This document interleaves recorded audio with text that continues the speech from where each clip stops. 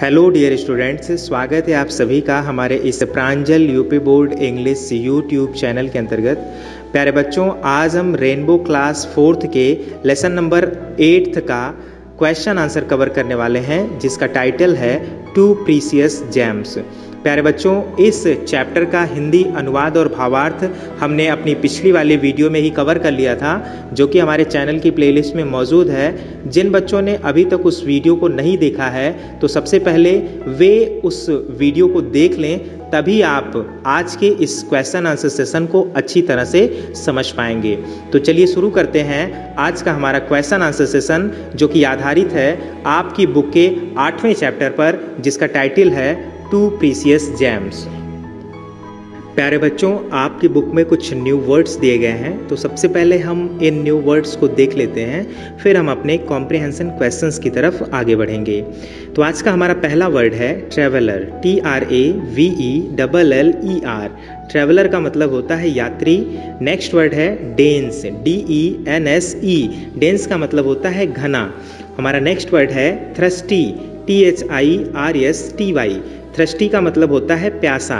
हमारा अगला वर्ड है shelter S H E L T E R shelter का मतलब होता है पनाह या शरण। नेक्स्ट वर्ड है realizing R E A L I Z I N G realizing का मतलब होता है समझ करके या फिर जान करके। हमारा अगला वर्ड है ऑफर्ड ऑफर्ड का मतलब है पेशकश किया या कुछ देने का प्रस्ताव दिया। हमारा नेक्स्ट वर्ड है precious P R E C I O U S precious का मतलब होता है अनमोल या बहुमूल्य। और हमारा लास्ट वर्ड है gems G E M S gems का मतलब होता है रत्न। तो प्यारे बच्चों, ये थे आपके कुछ न्यू वर्ड्स चलिए, अब हम अपने कॉम्प्रिहेंशन क्वेश्चन की तरफ़ चलते हैं। कॉम्प्रिहेंशन क्वेश्चंस के अंतर्गत जो क्वेश्चन दिया जा रहा है, वो है आंसर द फॉलोइंग क्वेश्चंस निम्नलिखित प्रश्नों के उत्तर दीजिए। अब देखिए, इसके अंतर्गत आपके पास पाँच क्वेश्चन हैं ए बी सी डी और ई e. आपको इन सारे क्वेश्चंस के आंसर लिखने हैं। तो देखिए, हमारा पहला क्वेश्चन है question number A where was the traveller passing through यात्री कहाँ से होकर के गुजर रहा था या जा रहा था? तो इसका आंसर हो जाएगा the traveller was passing through a dense forest यात्री एक घने जंगल से होकर के गुजर रहा था। हमारा नेक्स्ट क्वेश्चन है। Question number B how did the children help the traveller बच्चों ने उस यात्री की किस प्रकार से मदद की? तो इसका आंसर हो जाएगा the children gave him little water and saved his life बच्चों ने उसे थोड़ा सा पानी दिया और उसके जीवन की रक्षा की। हमारा नेक्स्ट क्वेश्चन है question number C why did the traveller offer some money to the old lady उस यात्री ने उस बूढ़ी महिला को क्यों पैसों की पेशकश की, या उस बूढ़ी औरत को उस यात्री ने पैसे क्यों देना चाहा? तो इसका आंसर हो जाएगा the traveller offered some money to the old lady because she gave him food and shelter अब चूँकि उस वृद्ध महिला ने उस यात्री को खाने के लिए भोजन दिया था और उसे रहने के लिए आश्रय दिया था, इसलिए उस यात्री ने उस वृद्ध महिला के सामने पैसों की पेशकश की। हमारा अगला क्वेश्चन है question number D did the old lady accept his help क्या उस वृद्ध महिला ने उस यात्री के द्वारा दिए जाने वाली सहायता को स्वीकार किया या उसके द्वारा दिए जाने वाले पैसों को स्वीकार किया? तो इसका आंसर हो जाएगा no old lady did not accept his help उस वृद्ध महिला ने उसके द्वारा की जाने वाली सहायता को स्वीकार नहीं किया, या उसके द्वारा दिए जाने वाले पैसों को स्वीकार नहीं किया। हमारा लास्ट क्वेश्चन है question number E who are the two precious gems for the lady कौन उस वृद्ध महिला के दो बहुमूल्य रत्न थे? तो इसका आंसर हो जाएगा, her both children were the two precious gems for the lady उसके दोनों पुत्र, उसके लिए दो बहुमूल्य रत्न थे। तो प्यारे बच्चों, इस तरह से हमारा कॉम्प्रिहेंशन क्वेश्चन यही समाप्त होता है। चलिए हम वर्ड पावर की तरफ़ चलते हैं। वर्ड पावर के अंतर्गत जो क्वेश्चन दिया जा रहा है, वो है complete the given word ladder अब देखिए वर्ड का मतलब तो होता है शब्द, लेकिन लैडर का मतलब होता है सीढ़ी, यानी कि शब्द सीढ़ी। दी गई शब्द सीढ़ी को पूरा करना है आपको। आप देख सकते हैं आपकी बुक में आ, हरे कलर में एक सीढ़ी बनी हुई है जिसमें कुछ शब्द लिखे गए हैं। और कहीं कहीं पे खाली स्थान भी दिया गया है उन्हीं खाली स्थानों को सही शब्दों की सहायता से आपको भर देना है। कुछ सिंबल्स भी बने हुए हैं जैसे एक तितली बनी हुई है एक कमल का फूल है एक केला है, एक पक्षी है और एक स्टार बना हुआ है और लास्ट में एक रिंग बनी हुई है। तो ये सब क्लू दिए गए हैं, एक संकेत दिए गए हैं जिसकी सहायता से आपको वाक्यों को पूरा करते हुए इस शब्द सीढ़ी को भर देना है। तो आइए देखते हैं, हमारा जो पहला वाक्य है अ बटरफ्लाई इज़ ब्यूटीफुल तितली सुंदर है।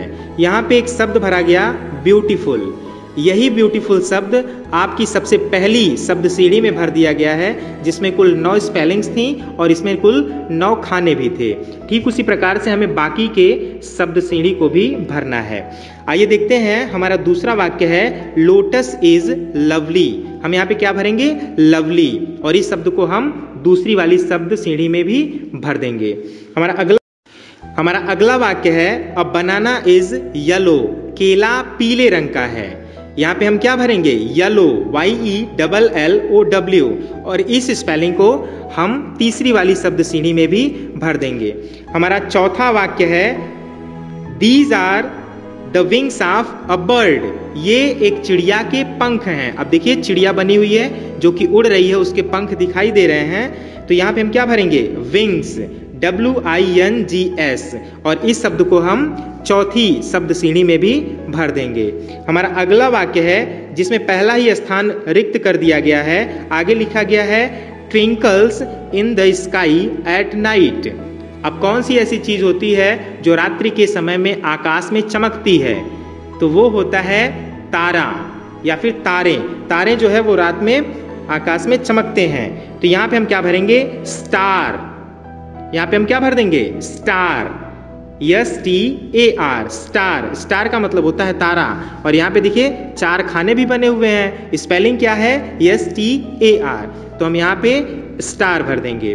और हमारा लास्ट क्वेश्चन है we put ring in our finger we put ring in our finger हम अपनी उंगली में रिंग को पहनते हैं या अंगूठी को पहनते हैं। तो यहाँ पे हम क्या भर देंगे?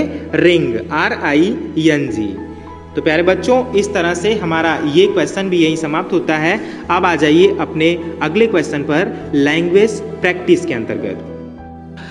लैंग्वेज प्रैक्टिस के अंतर्गत जो क्वेश्चन दिया जा रहा है, वो है fill in the blanks by adding I N G to the words given in the brackets bracket में दिए गए शब्दों में आईएनजी जोड़ते हुए रिक्त स्थानों की पूर्ति करिए। अब आप देख सकते हैं, आपके पास कुछ वाक्य हैं। उन वाक्यों के अंत में कुछ शब्द लिखे गए हैं। जैसे हमारा पहला वाक्य है, पहले वाक्य के अंत में ब्रैकेट में लिखा गया है सिट दूसरे वाक्य के अंत में लिखा गया है क्लाइंब तीसरे वाक्य के अंत में लिखा गया है प्ले चौथे वाक्य के अंत में लिखा गया है जंप इन शब्दों में आईएनजी जोड़ते हुए रिक्त स्थानों की पूर्ति कर देना है। बहुत ही आसान काम है ये। आप देख सकते हैं, आपकी बुक के दाहिने तरफ़ कुछ चित्र भी बने हुए हैं। इन्हीं चित्रों में जो क्रिया प्रतिक्रिया बच्चों के द्वारा की जा रही है, उसी के हिसाब से ये वाक्य दिए गए हैं और ब्रैकेट में कुछ शब्द भी दिए गए हैं। तो उनका आईएनजी फॉर्म बनाते हुए हमें इन वाक्यों को पूरा करना है। तो आइए देखते हैं, हमारा पहला वाक्य है, two boys are sitting on a wall. दो बच्चे दीवार पर बैठे हैं। सिट में हम आईएनजी जोड़ देंगे और हो जाएगा शब्द सिटिंग। हम यहाँ पे क्या भरेंगे? Sitting two boys are sitting on a wall हमारा अगला वाक्य है one boy is climbing up the ladder एक बच्चा सीढ़ी पर चढ़ रहा है। तो यहाँ पे हम क्या भरेंगे? Climbing C L I M B I N G climbing हमारा अगला वाक्य है the boys are playing football बच्चे फुटबॉल खेल रहे हैं। यहाँ पे हम क्या भरेंगे? Playing P L A Y I N G playing football हमारा लास्ट वाक्य है द बॉय इज़ जंपिंग लड़का कूद रहा है जंपिंग कर रहा है J U M P I N G तो प्यारे बच्चों, इस तरह से आज का हमारा ये क्वेश्चन आंसर सेशन यहीं समाप्त होता है। आप इस एक्सरसाइज को एक दो बार रिवाइज कर लीजिएगा और अपनी बुक में लिख भी सकते हैं। आप जितना लिखने की कोशिश करेंगे, उतना आपको क्वेश्चन आंसर्स याद होते रहेंगे जो कि आपकी परीक्षा की दृष्टि से काफ़ी महत्वपूर्ण है। तो प्यारे बच्चों, इन्हीं सारी बातों के साथ आप हमें दीजिए इजाज़त। मिलते हैं आपसे अगले वीडियो में। तब तक के लिए गुड बाय